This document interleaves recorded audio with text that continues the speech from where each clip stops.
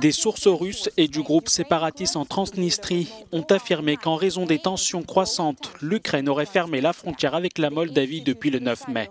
Mais selon l'Institut américain pour l'étude de la guerre, cette information n'a pas pu être vérifiée. Regardons de plus près la situation sur le terrain en Ukraine.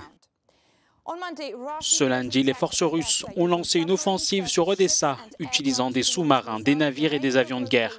Plusieurs sites ont été bombardés, dont un centre commercial et deux hôtels. Du sud-ouest, continuons maintenant vers le sud-est, à Zaporizhia.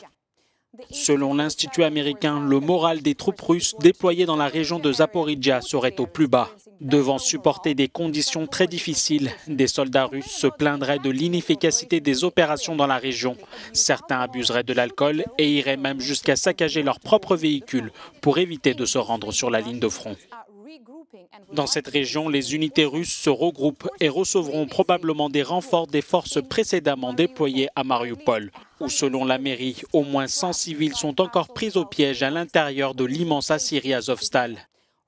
Les forces russes, appuyées par des blindés et l'artillerie, ont accentué leurs opérations sur le site qui subit les offensives russes depuis plusieurs semaines.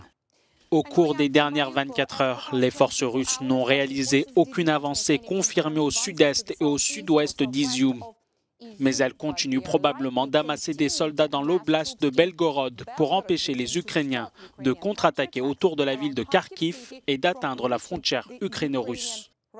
Dans son dernier rapport, le ministère britannique de la Défense affirme que la Russie a sous-estimé la résistance ukrainienne et a envisagé le meilleur scénario.